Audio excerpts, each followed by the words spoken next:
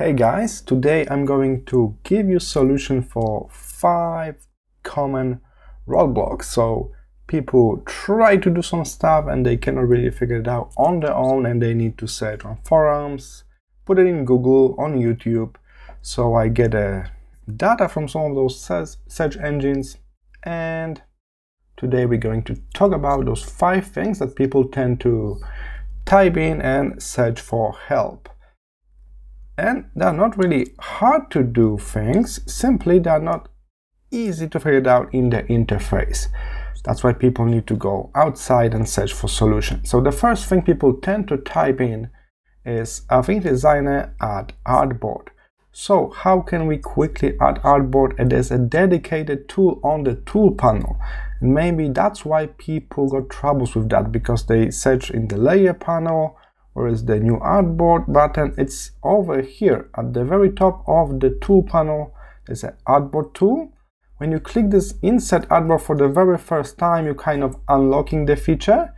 I already did that so when I click it right now I will get a brand new artboard. Take a look. I click it again again and again and I'm getting artboards. Of course you can add artboard in different size and you can even draw custom artboards. You can modify different sizes. You can move them all around as you please. Keep in mind you can reorder artboards here in the layer panel. And this way you will reorder them as pages. Because if I export this whole thing now as PDF each artboard will be a separate page. Alright, we can of course delete those artboards. So if you select artboards you don't need, you can hit delete on your keyboard or here in the layer panel. Alright, so that's how you can manage your artboards. What's next? Another popular search term nowadays is Affinity Designer AI. And sorry to brief you this way, but there's no AI in Affinity Designer.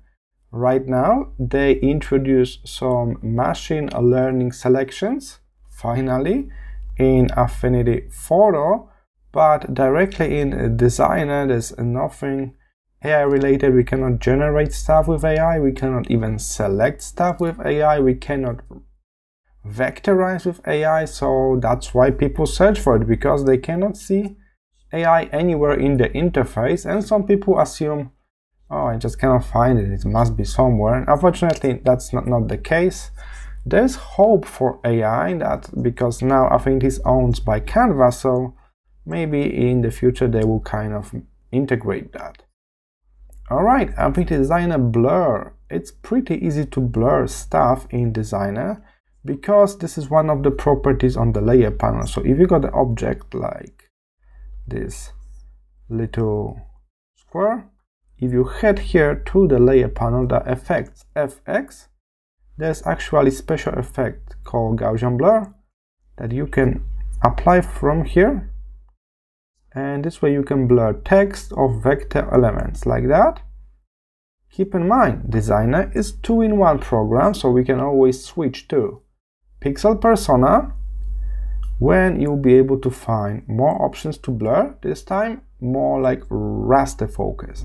So if there are raster images and you are in the pixel persona you got additional options to blur this there's actually dedicated blur tool here on the tool list. So here's another option of blurring stuff more in the raster editing manner with this blur tool here in the pixel persona or simply with those layer effects. Okay, so yeah, definitely we can blur stuff in Designer. After Designer background transparent, that's what you guys search for. And by default, you got white color in your artboards but it's very easy to change that to transparency, the very familiar checkerboard, huh? Be sure you click outside, somewhere around, so nothing selected, and then you will see document setup at the top. Select that, and then in color tab, there is a transparent backdrop option. You, we just need to turn it on, and okay. And now, instead of this default white, we got this familiar transparent checkerboard. So if you plan to export your graphics as PNGs with transparent backdrop, that's maybe a good call. Or maybe you simply feel more comfortable working with this transparency checkerboard. All right. Number five, the last one, I think Designer animation. There's no animation tab. We cannot animate directly in Designer. What I like to do, I like to export different elements as SVGs or PNGs and then animate that in some kind of third-party software. So that's kind of the only option right now. So let's quickly summarize those popular how to help searches from you guys. So artboard tool, it's over here. Second tool on the list, you can add as many artboard as you can. I think at some point you will crash the program, but I managed to export projects with around 100 artboards successfully. Okay, then AI, non-existence. We made a small improvement in version 2.6. That's for photo. They add some kind of AI selections there, so there's a hope. Affinity the blur, pretty easy. As I mentioned, the most popular way is to blur from this layer effect, but there's also a dedicated blur tool in Pixel Persona. Transparent backdrop can be achieved simply by changing some document setup. In colors, you just turn it on and off. And the last one for people that plan to animate elements in Designer, unfortunately you will need some kind of third-party program. For that you cannot do it directly here. Alright, I hope you enjoy those quick questions and answers. I'm going to explore a few more problems and give you quick solutions for them in part 2. So stay tuned, don't forget to like and subscribe. See you in the next one. Bye!